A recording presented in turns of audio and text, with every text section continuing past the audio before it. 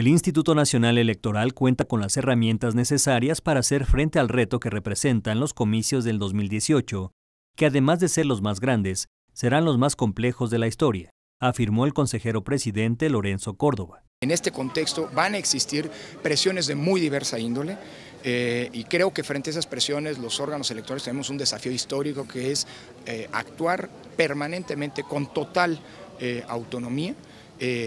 refrendar nuestra vocación de independencia frente a los actores políticos, frente a los gobiernos federal, locales y municipales, eh, eh, y generar las condiciones para que en esta ocasión, como ha venido ocurriendo, sean los ciudadanos los que decidan su futuro político. El funcionario señaló que se cuenta con los mecanismos para verificar el gasto que por ley deben reportar todos los contendientes, incluido el que hagan a través de las redes sociales, de lo contrario serán sancionados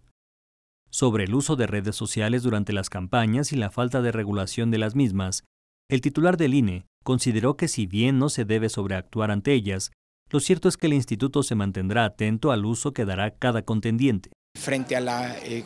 a la irrupción que las redes sociales han tenido en la vida democrática, lo que sí como autoridades electorales tenemos que desplegar es una capacidad explicativa inédita tenemos que aclarar, sobre todo porque las redes sociales son eh, un campo fértil, un caldo de cultivo fértil para que eh, noticias falsas proliferen, en fin, se difundan. Eh, una capacidad, insisto, para poder, tenemos que desarrollar una capacidad como nunca antes para explicar el proceso electoral y sobre todo enfatizar en medio de una sociedad en la que la desconfianza, como en este mismo espacio se ha planteado. Sobre posibles modificaciones a la ley consideró que no es el momento oportuno, y dijo que es responsabilidad de todos ir construyendo el mejor contexto orientado para que las elecciones se lleven a cabo. La ley no se puede modificar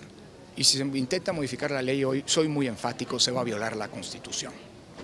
La Constitución prohíbe que haya modificaciones legales en los 90 días previos al arranque del proceso electoral eh, eh, y por lo tanto, dado que el proceso electoral arrancó hace eh, dos meses, no existen ya condiciones constitucionales para que haya una modificación legal. Con información de Guadalupe Vallejo e imágenes de Enrique Rivera, Notimex.